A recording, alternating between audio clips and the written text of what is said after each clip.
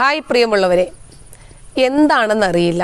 നമുക്ക് ചുറ്റും ഒരുപാട് മതങ്ങളുണ്ടെങ്കിലും മറ്റൊരു മതത്തെയും ഇതര മതസ്ഥർ ഒരുപാട് പബ്ലിക്കിൽ പൊക്കി പറയുന്നതും പുകഴ്ത്തി പറയുന്നതും അതിന്റെ മഹിമകൾ പറയുന്നതും ഒന്നും നമ്മൾ കേൾക്കുന്നില്ല. എന്നാൽ ഇസ്ലാം മതത്തെ എന്തോ ചക്കരയായി കാണിക്കാൻ അല്ലെങ്കിൽ അവരെ കൊണ്ടത് കാണിപ്പിക്കാൻ ആർക്കൊക്കെയോ എന്തൊക്കെയോ ഒരു ഒരു ഒരു പ്രത്യേക താല്പര്യമുള്ളതുപോലെ. പ്രത്യേകിച്ച് രാഷ്ട്രീയക്കാർക്കാണ്. അവർക്ക് പിന്നെ നാല് വോട്ട് മതി. അതിനു വേണ്ടിയിട്ട് അവർ എന്ത് നെറികേടും കാണിക്കുമെന്ന് നമുക്ക് ഈ മുത്തലാഖും ബഹുഭാരിത്വം ഒക്കെ വിഷയത്തിലെ നമുക്ക് മനസ്സിലായതാണ്.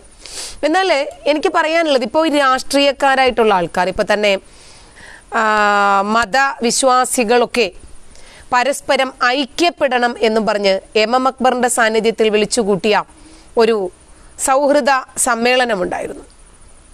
യുക്തിവാദികൾക്കെതിരിൽ ഇസ്ലാം മത വിമർശകരാകുന്ന എക്സ് മുസ്ലിങ്ങൾക്കെതിരിൽ മറ്റെല്ലാ ഇസ്ലാമിക സംഘടനകളും ഒരുമിക്കണം അവരെ ഒറ്റപ്പെടുത്തണം അവരെ പ്രതിരോധിക്കണം എന്നൊക്കെയുള്ള രൂപത്തിൽ ഒരു സമ്മേളനം. ആ സമ്മേളനം ഉദ്ഘാടനം ചെയ്തത് വേറൊരു എം പിയാ. അദ്ദേഹമാണെങ്കിൽ ഈ മതത്തെക്കുറിച്ച് വാതോരാതെ പൊക്കി പറയുന്നു ഒന്ന് നോക്കണ്ടേ വായിക്കൂടെ കൂടെ തിന്നാനേ പാടുള്ളൂ കേട്ടോ.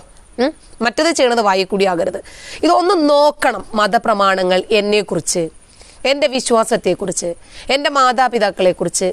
എന്നോടുള്ള ഞാൻ ഇതുവരേക്കും പൊക്കിപ്പറഞ്ഞ ആൾക്കാരുടെ സഹകരണത്തെക്കുറിച്ചിട്ട് എന്താണ് ഈ ഗ്രന്ഥത്തിൽ പറഞ്ഞിട്ടുള്ളത് എന്ന് ജസ്റ്റ് ഏതെങ്കിലും ഒരാളോടൊന്ന് ചോദിക്കണം.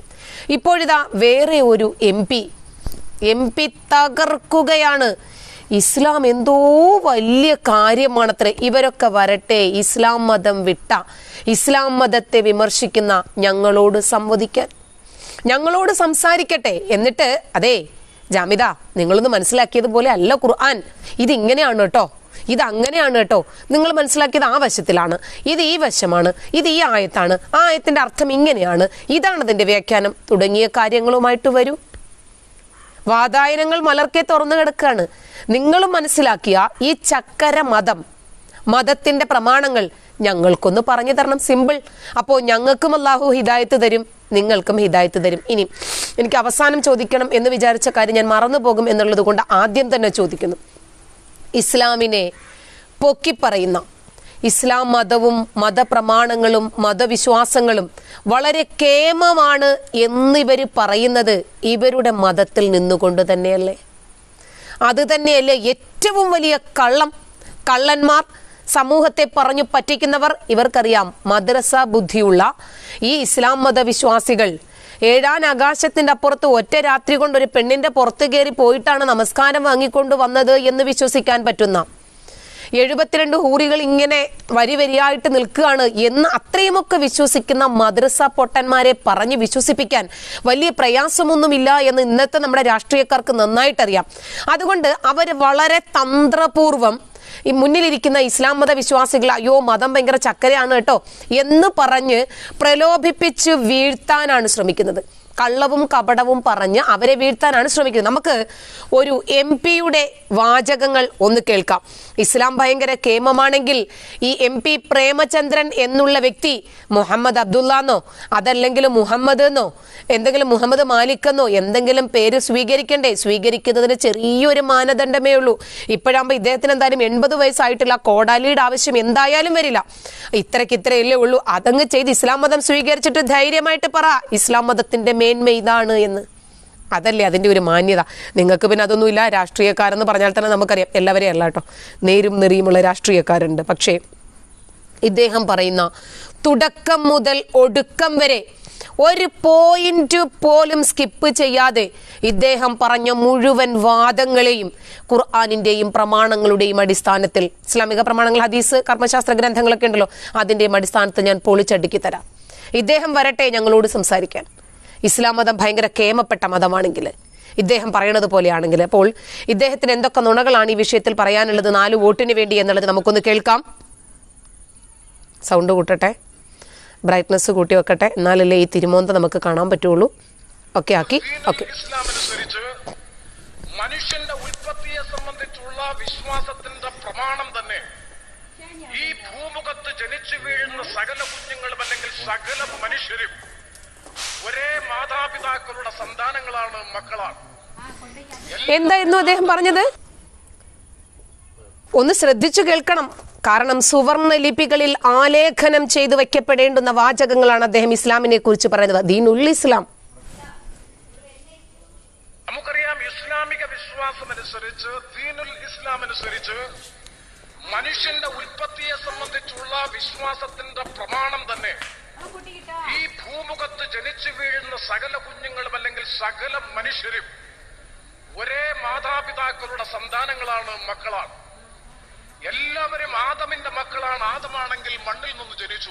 മനുഷ്യന്റെ ഉൽപ്പത്തിയെക്കുറിച്ച് ഇസ്ലാമിന്റെ വളരെ പ്രൗഢോജ്വലമായ ഒരു സമീപനത്തെ കുറിച്ചിട്ടാണ് ഇദ്ദേഹം പറയുന്നത്. മനുഷ്യന്റെ ഉൽപ്പത്തി എങ്ങനെയാണ് ഉണ്ടായത് ഇസ്ലാം പറയുന്നതാണ് ശരിയായ സമീപനം എന്നാണ് ഇദ്ദേഹം പറയുന്നത്. ആയിരത്തിയൊന്ന് രാവുകളെ വെല്ലുന്ന വെറും അന്ധവിശ്വാസ കഥകളും കുറച്ച് ജൽപ്പനങ്ങളുമല്ലാതെ എന്താണ് ഇതിലുള്ളത് നമുക്കപ്പോൾ അതൊന്ന് നോക്കാം. രണ്ടാം അധ്യായം സൂറത്തുൽ ബക്കറയിലെ മുപ്പതാമത്തെ വാചകത്തിലാണ് മനുഷ്യന്റെ ഉൽപ്പത്തിയെ സംബന്ധിക്കുന്ന അടിസ്ഥാന വിശ്വാസം കിടക്കുന്നത്. അള്ളാഹു മലക്കുകളെ വിളിക്കുന്നു. وَإِذْ قَالَ رَبُّكَ لِلْمَلَائِكَةِ إِنِّي جَاعِلٌ فِي الْأَرْضِ خَلِيفَةً قالوا وتجعل فيها من يفسد فيها ويسفك الدماء ونحن نسبح بحمدك ونقدس لك قال إني أعلم ما لا تعلمون അള്ളാഹു മലക്കുകളെ വിളിച്ചിട്ട് പറഞ്ഞു അതെ മലക്കുകളെ ഞാനേ ഭൂമിയിൽ അനന്തരാവകാശി ഞാൻ ഭൂമിയിൽ കുറച്ച് അനന്തരാവകാശികളെ സൃഷ്ടിക്കാൻ പോവുകയാണ്. ഏ എന്താണ് നിങ്ങളുടെ അഭിപ്രായം? അവരോടാ ചോദിക്കുന്നത് വന്നിട്ട് മലക്കുകളോട്. അപ്പൊ മലക്കുകൾ പറഞ്ഞു പഠിച്ചോനെ കാലു അതജലു ഫീഹ ഇവിടെ ആക്കാൻ പോകുകയാണോ മയ്യുഫ്സിദു ഫീഹ. കുഴപ്പമുണ്ടാക്കുന്ന ആൾക്കാരെ വയസ്വി കുദ്ദി മാ ആ അവരാണെങ്കിൽ രക്തം ചിന്തുകയും ചെയ്യുന്നുണ്ട്. അങ്ങനെ ഒരു വിഭാഗത്തെ ആണോ നീ സൃഷ്ടിക്കാൻ പോകുന്നത്? വനഹ്നു ഞങ്ങളാകട്ടെ നുസബ്യഹ് ബിഹംദിക നിന്നെ ഇങ്ങനെ സ്തുതിച്ചുകൊണ്ട് ജീവിക്കുകയല്ലേ? നിന്റെ വാഴ്ത്തിക്കൊണ്ട് നിന്നെ വാഴ്ത്തിക്കൊണ്ടല്ലേ ഞങ്ങൾ ജീവിക്കുന്നത്? വനു സഭ്യ നിന്നെ പ്രശംസിക്കുകയും പ്രകീർത്തിക്കുകയും ചെയ്തുകൊണ്ടാണല്ലോ ഞാൻ നമ്മൾ ജീവിക്കുന്നത്. വനു കദ്ദിസുലഖ് പോരെങ്കിൽ നിന്നെ പരിശുദ്ധപ്പെടുത്തുകയും ചെയ്തിട്ടുണ്ട്. കാല ഇനി അലബമാല അപ്പൊ അപ്പോൾ അള്ളാഹു പറഞ്ഞു ഏയ് നിങ്ങൾക്കറിയാത്ത ഒരുപാട് കാര്യങ്ങൾ എനിക്കറിയാം. അപ്പോൾ എന്ത് ചെയ്യണം എന്ത് ചെയ്യാൻ പാടില്ല എന്ന് വളരെ കൃത്യമായി അറിയുന്നത് ഞാനാണ്. അതുകൊണ്ട് കൂടുതലൊന്നും ഇങ്ങോട്ട് പറയണ്ട. ഞാൻ ഇങ്ങനെ മനുഷ്യനെ സൃഷ്ടിക്കാൻ ഉദ്ദേശിച്ചിട്ടുണ്ട്. ഞാനത് സൃഷ്ടിക്കാൻ തന്നെ പോവുകയാണ് എന്ന് പടച്ചോ പറഞ്ഞു. ഇതാണ് ഇതിന്റെ തുടക്കം. ഇനി നമുക്ക് അടുത്ത വാചകം നോക്കാം. എന്നിട്ട് അപ്പം ആ ഭാഗത്തിൽ അത്രയും മാത്രമാണ് പറയുന്നത് ഇനി മുപ്പത്തി ഒന്ന്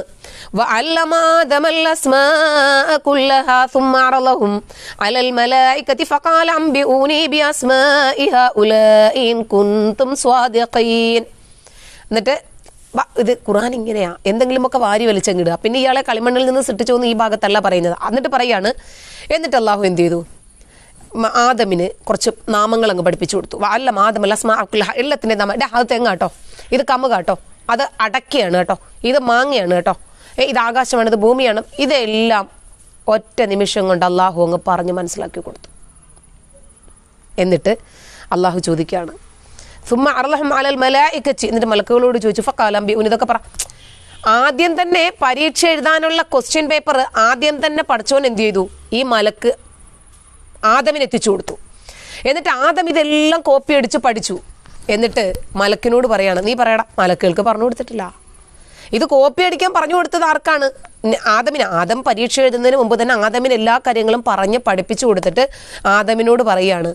ആദമിന്റെ മുമ്പിൽ വെച്ചിട്ട് മലക്കൊണ്ട് കൊടുക്കും നിങ്ങളത് പറഞ്ഞേ. ഏ ഞങ്ങൾക്കിത് പറഞ്ഞിട്ടില്ലല്ലോ. അപ്പം മലക്കുകൾ പറഞ്ഞു ഞങ്ങൾക്കറിയില്ല അഫക്കാല അംബി ഊനി ബി അസ്മാ ഇഹ ഉല ഇൻ കൊന്തും. സ്വാദിക്കും എന്നിട്ട് പറയണം നിങ്ങൾ സത്യവിശ്വാസികളാണെങ്കിൽ നിങ്ങൾ സത്യം പറയുന്നവരാണെങ്കിൽ നിങ്ങൾ ഇതിന്റെ നാമങ്ങളൊക്കെ എനിക്കൊന്ന് പറഞ്ഞു പടച്ചവൻ പറഞ്ഞു കൊടുത്തത് ആദമിനല്ലേ?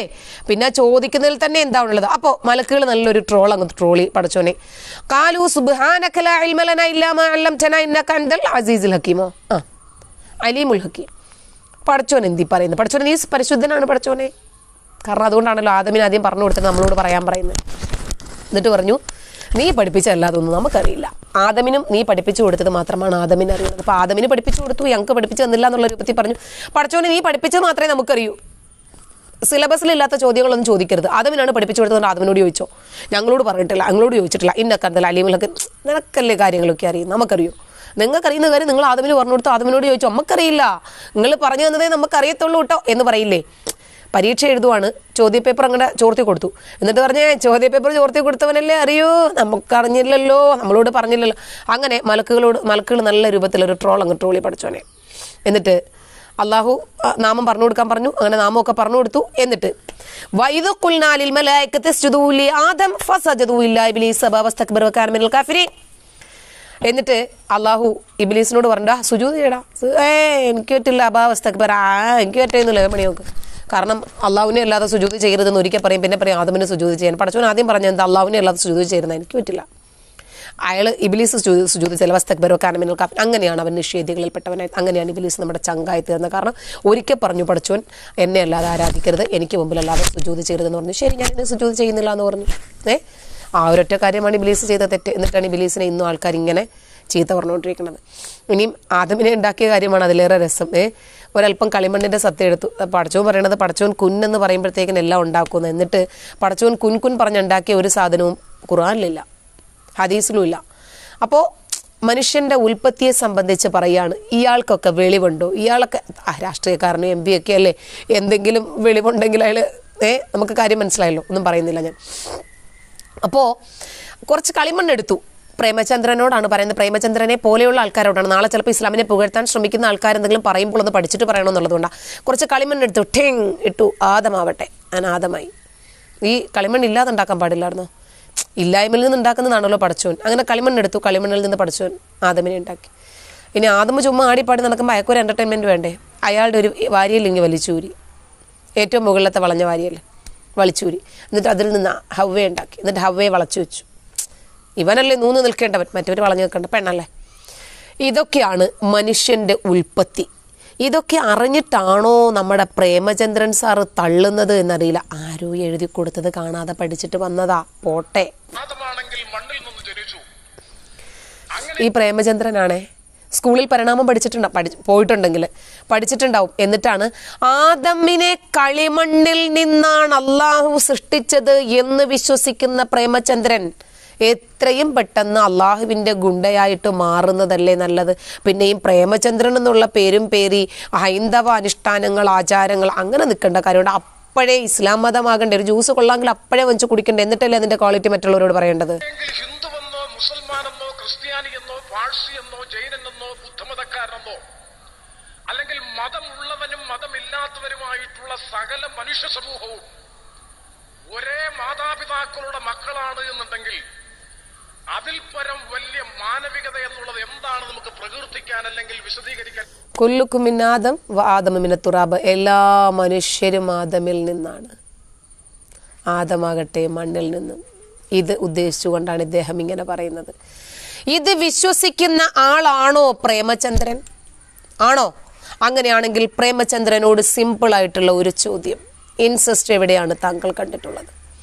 ഒരേ മാതാവിന്റെയും പിതാവിന്റെയും മക്കൾ പരസ്പരം വേഴ്ച നടത്തിയാണ് ഈ മനുഷ്യകുലം മുഴുവനും ഉണ്ടായത് എന്ന് വിശ്വസിക്കുന്ന പ്രേമചന്ദ്രൻ എന്തുകൊണ്ടാണ് മുസ്ലിമായി പ്രഖ്യാപിക്കാത്തത്?